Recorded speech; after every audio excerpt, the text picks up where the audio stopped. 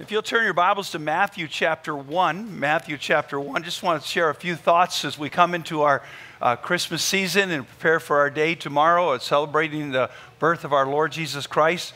In Matthew chapter 1 and verse number 18 is the verse we're going to look at. Matthew chapter 1 and verse number 18. The Bible says, Now the birth of Jesus Christ was on this wise. I want you to stop there. Now the birth of Jesus Christ was on this wise. The Christmas story is one that just about everybody's familiar with, even if you don't go to church. And if you grew up in church and grew up in a Christian home, you probably heard the story over and over and over again. In fact, you probably think, I, I know everything about the story. And one of the challenges I think at the Christmas season is to read these stories again and try to see something fresh and something new. And that's why God says, now the birth of Jesus Christ was on this wise because we would be wise to pay attention to the details of the story and learn something new every year. So let's bow for prayer and then we'll take a look at that story. Father, we thank you for the opportunity to be here on Christmas Eve as we prepare to celebrate the birth of the Lord Jesus Christ. And we pray in all the hustle and the bustle and all the activity and even the familiarity of the story that we would not lose sight of what this is truly about. It's about a celebration of your love for us and about your Son, Jesus Christ. And we pray that you would help us to see that once again as we open up your word and you open up to our hearts. For it's in Jesus' name we pray. Amen. As we look at this story of Jesus Christ and uh, the different people that we know are involved Mary and Joseph, the wise men, the shepherds uh, there's a couple things that uh, strike me as I look at this story. And one is uh, I want you to think about the price that it cost each of them to be a part of the Christmas story. It, we think, oh, wouldn't it have been great to have been there at the birth of Jesus? Wouldn't it be great to be those wise men to present the gifts, to be Mary and Joseph, the mother uh, of Jesus and the stepfather of Jesus, to be the shepherds and to see the angels? But yet there was a price to pay. In 2 Timothy chapter 3 and verse 12, the Bible says, Yea, and all that will live godly in Christ Jesus shall suffer persecution. And when you want to be used of the Lord and when you want to live for the Lord, it's a great blessing. But sometimes we have to pay a price for that blessing as well. For example, Mary. Now, the name Mary means bitterness. In Luke chapter 1, if you want to turn over there, Luke chapter 1, we're going to flip flop back and forth between Matthew and Luke here. Uh, but Luke chapter 1 and verses 26 through 36 we know the story of how the angel Gabriel came and, and uh, verse number 27 to a virgin espoused to, to a man whose name was Joseph of the house of David, and the virgin's name was Mary. And the angel came in unto her and said, Hail, thou art highly favored, the Lord is with thee. Blessed art thou among women. And when she saw him, she was troubled, as saying, and cast in her mind what manner of salutation this should be. And the angel said unto her, Fear not, Mary, for thou hast found favor with God. And behold, thou shalt conceive in thy womb and bring forth a son, and shall call his name Jesus. He shall be great, and shall be called the Son of the Highest, and the Lord God shall give unto him the throne of his father David, and he shall reign over the house of Jacob forever, and of his kingdom there shall be no end. And we, we, we know this part of the story. And, and of course, he said there to Mary that you are blessed among all women, uh, but yet this blessing came with a price. Uh, you also know that just before Mary found out she was pregnant, also Elizabeth, who was her aunt, uh, found out that she was pregnant with John the Baptist. And, uh, and, and, you know, for Elizabeth, it, it was uh, a little easier because she was married. Uh, in fact, uh, she was not only married, but she'd been married for many, many years. In fact, she was beyond the childbearing years, and they'd never had children, and God allowed them to have children. And, and uh, so at least she was, uh, it was a little easier for her because she was married.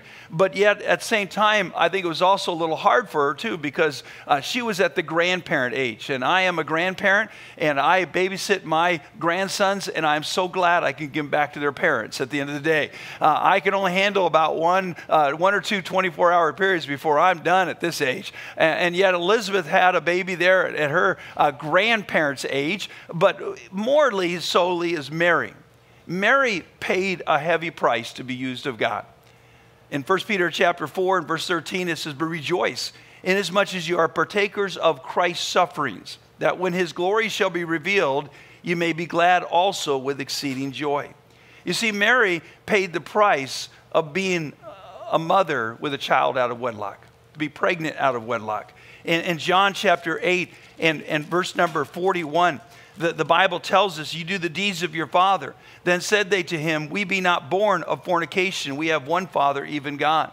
And so here was Mary, uh, uh, probably just a teenage girl at that time. In those days, that's about the age they would get married. And, and she was engaged, and then she finds out she's pregnant, and this, uh, an angel tells her, you can imagine how many people believe that story.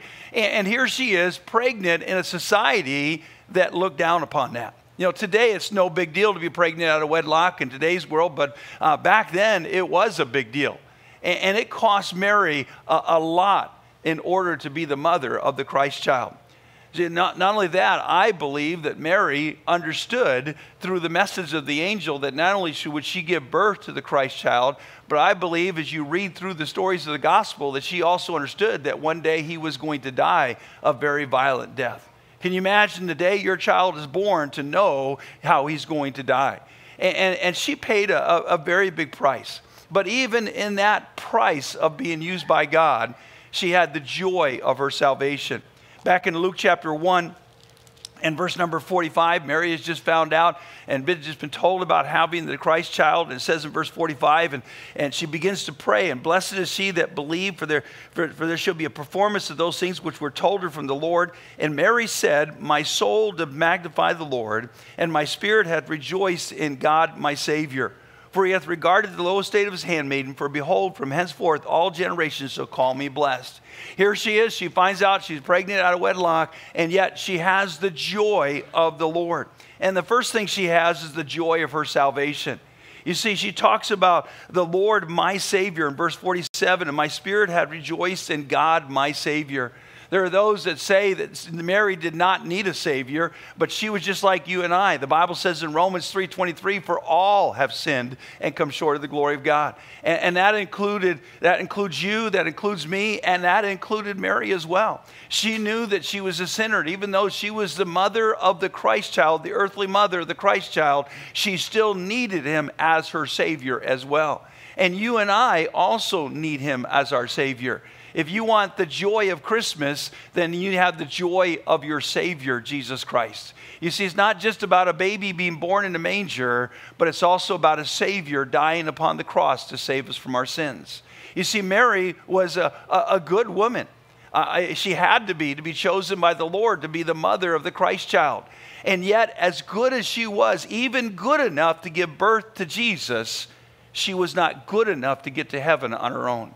The Bible says in Ephesians chapter 2, verses 8 and 9, For by grace are you saved through faith, that not of yourselves. It's the gift of God, not of works, lest any man should boast. Tomorrow, uh, many of us, maybe some tonight, uh, I have some good friends that uh, they open their presents up at 1201 right after midnight. Whenever it is you open your presents, you're going to be handed a gift from someone. On that gift is going to be your name, and they're going to expect you to open that gift and receive it. And that's exactly what God expects from you and I. God has given us the gift of His Son, Jesus Christ, not only to be born in the manger, but He gave Him so that He could die upon the cross. For God so loved the world that He gave His only begotten Son, that whosoever believeth in Him should not perish, but have everlasting life. And God expects you and I to receive that gift and to open our heart and accept Him as our Savior into our heart and our life. In Romans chapter 10, verses 9 and 10, it says that if thou shalt confess with thy mouth the Lord Jesus, and shalt believe in thine heart that God is raised the dead, thou shalt be saved. For with the heart man believeth unto righteousness, and with the mouth confession is made unto salvation. In Romans 3.23, it's, uh, uh Romans 10.13, it says, For whosoever shall call upon the name of the Lord shall be saved. And just as you receive a gift from someone who loves you and you open that gift up and accept it, you also need to receive the gift from God who loves you and open up your heart and accept Jesus Christ as your personal Savior. And so I hope if you've never received the gift of Christ, that you would do that today. But not only did she have the joy of her salvation, she also had the just joy of surrender. In Luke chapter 1 and verse number 38, and Mary said, Behold, the handmaid of the Lord, be it unto me according to thy word. And the angel departed from her. She said, God, whatever you want to do in my life, I am ready for you to do that. And, and, and we need to surrender ourselves for whatever God wants for us. Ezra said it this way in Ezra 7:10, "For Ezra had prepared his heart to seek the law of the Lord and to do it and to teach in Israel statutes and judgments." And so we need to come this Christmas and say, "Lord, I surrender all to you. Whatever you want to do in my life, you can do it. Whatever you would have me to do, I'm ready to do it for you." You see, in Luke chapter 1 and verse 47, it says, And my spirit had rejoiced in God my Savior. In Romans 15, 13, it says, Now the God of hope fill you with all joy and peace in believing, that you may abound in hope through the power of the Holy Ghost. Not only did God give us the gift of salvation when we trust Him as our Savior, but He also gave us the Holy Spirit. And we have the Holy Spirit to enjoy on a daily basis. You know, Christmas is a time that we come together as a family to enjoy our friends and our family. And sometimes we haven't seen them all year long. And, maybe some of you have flown here to Hawaii to be with your family, or maybe you had family has flown over here to be with you. And, and maybe some of you aren't able to be with your family, but you wish you could be. Well, the Lord, we can be with Him every day through the Spirit of God. We can have that sweet fellowship and the joy of the Lord through the Holy Spirit on a daily basis. But we can also find joy in our trials. In James chapter 1 and verse 2, it says, My brethren, count it all joy when you fall in diverse temptations. The very blessings of God can also be some of the greatest challenges in our lives. The very blessing that Mary received in being the mother of the Christ child was also, I believe, one of the greatest challenges in her life that she had to face. And so when we give ourselves to the Lord, God calls us and He sometimes challenges us to do things that we are, are, not ready for, but God will bring us through that as well. Now, the wise men in Matthew chapter 2, you know the story. Uh, they traveled a long distance, we believe probably about a two year journey, in order to come and see the Christ child. Uh, a long, hard journey. It's not like today getting on an airplane or getting in your car. Uh, this was by camel, this was by foot. Uh, this was a long, hard journey through deserts and mountains just so that they could find the, the Christ child. You know, some, and, and then when they get very close, when they're almost there, the star disappears. Uh, we don't know what happened. Maybe it was a cloudy day. Uh, maybe there was a storm. Uh, I don't know why uh, they lost sight of it, but the cloud disappears. You know, sometimes in our lives as Christians, we can lose sight of the Lord. And sometimes it seems like, well, where is God in this situation? But like the wise men, we just need to keep on going because God will reveal himself to us again. You see, you can also lose sight of your guiding principles. That star had guided them throughout the journey. And sometimes in life, we as Christians lose sight of the principles that have guided us through our life, and we need to stay faithful to those principles. But then there was also the shepherds back in Luke chapter 2 at verse number 8. And there were in the same country shepherds abiding in the field, keeping watch over their flock by night. In verse number 10, the angel said unto them, Fear not, for behold, I bring you good tidings of great joy, which shall be to all people.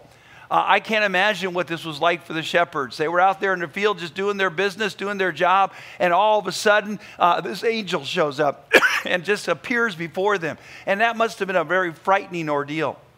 That must have been a very traumatic uh, ordeal in their lives. And sometimes we look at these shepherds and think, what a great thing to see an angel. But I, I, I kind of think if you were out in the middle of nowhere at night all by yourself and somebody's excuse me, somebody, somebody suddenly appeared, uh, you would be frightened.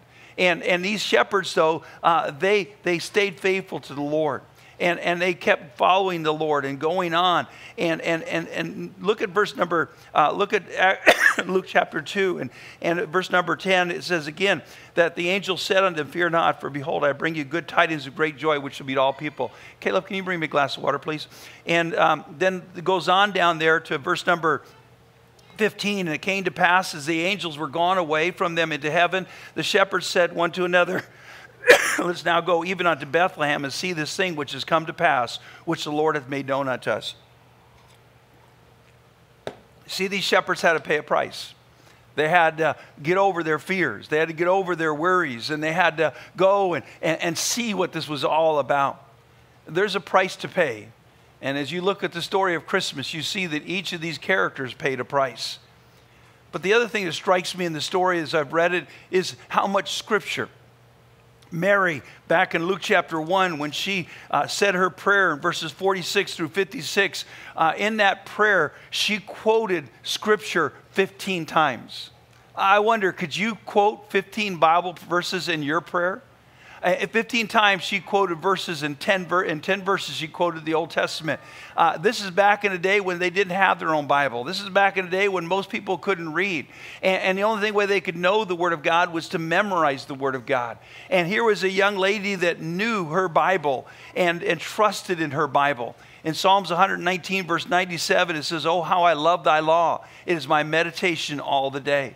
I hope that this Christmas you will take time to meditate upon God's Word. I hope you will especially take time to read the Christmas story in Matthew and, and in Luke and, and really to pay attention and, uh, to, and not just to think, well, I already know that story, but really to, to, to listen to what the Word of God says. The wise men uh, I'm not sure exactly how they knew that, the, that Jesus was going to be born, how they knew to follow that star. I believe it was probably uh, through Daniel. Uh, the prophet had been there for years past, and maybe he had left some prophecies and, and taught people about it. But these wise men, uh, they, they knew what they were doing, they, they knew that they were seeking the Lord. In Jeremiah 29 13, it says, And you shall seek me and find me when you shall search me with all your heart. I've got a little grandson who's going to be four years old in January, and, and boy, he's, uh, he's looking everywhere to check out if there's presents for him. Uh, he's been doing a lot of seeking throughout the house, trying to find presents all over the place that are for Joshua.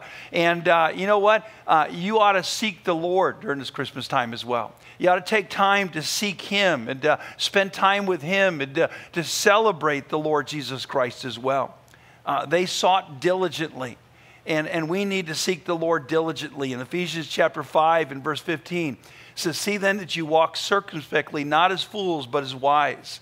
In Hebrews 11, 6, it says, But without faith it is impossible to please him. For he that cometh to God must believe that he is, and is a rewarder of them that diligently seek him. The word diligently in Hebrews chapter 11, it means to crave, to demand. Uh, right now, uh, I think a lot of you are craving uh, sugar and sweets, right? Uh, everywhere you turn, there's cookies and there's chocolates and there's all kinds of good things. And, and, and you know, uh, we've got this craving. And, and, and, I don't know about you, but about four or five days after Christmas, after most of them picked through, I'm starting to go through boxes trying to find something that's going to still be good, you know? And, and we ought to crave the Lord Jesus Christ. We ought to desire Him in this Christmas season as well. And then the shepherds.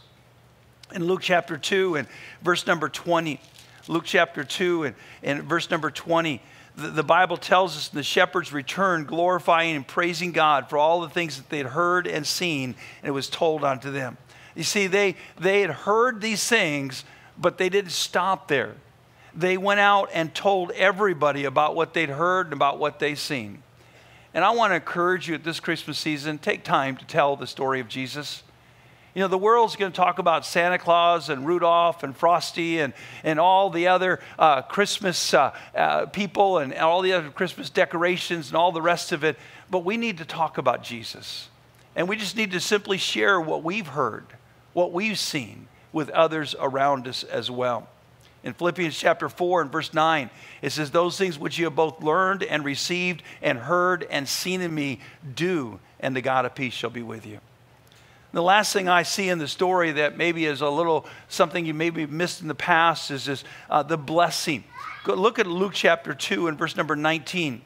It, it says, But Mary kept all these things and pondered them in her heart. I talked about this in another message here recently. That, that word ponder, it means to combine, to put together. It's like when you buy a Christmas gift and on the front of the box for your kids there, it says some assembly required. Now, that's, uh, that's usually, these things are all made in China, and some assembly required in Chinese means you have to have a rocket science degree to put this together. Uh, it's not always easy, but you need to take time to figure out how to put this, whatever it is, together. And what God wants us to do this Christmas is to put together the Christmas story, to ponder it, to combine it, and, and really think about what it truly means. But not only did she ponder, but look at Luke chapter 2 and verse number 33. It says, And Joseph and his mother marveled at those things which were spoken of him. So we need to ponder and we need to marvel at the things of the Lord, to marvel at what God has done. This is the season where we celebrate God becoming a man. The Bible tells us that, that he was God himself in Philippians chapter 2, but he took upon the form of a servant, was made in the likeness of men. He came to be born not as a full grown man, even, but as a baby. I don't know about you, but that just strikes me with awe and wonder.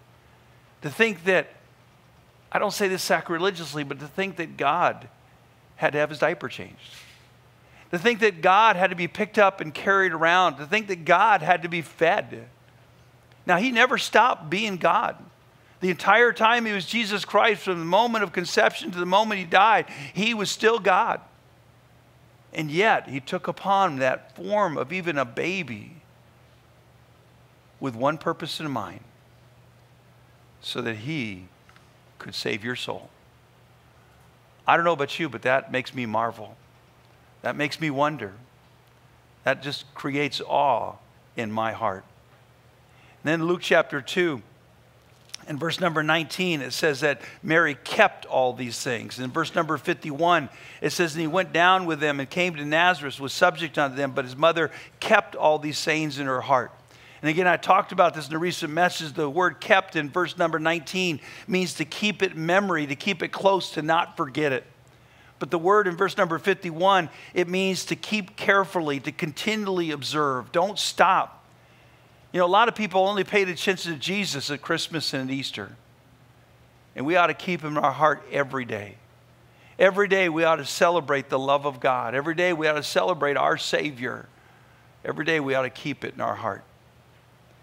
The wise men, they came before Jesus and they bowed to worship him. The shepherds, they came and they praised and glorified God. And so I hope today as you prepare for your Christmas celebrations, that you will take time to ponder these things, to take time to marvel at the story and the little details that are there, to take time to keep it in your heart and to worship Him and to praise and to glorify His name.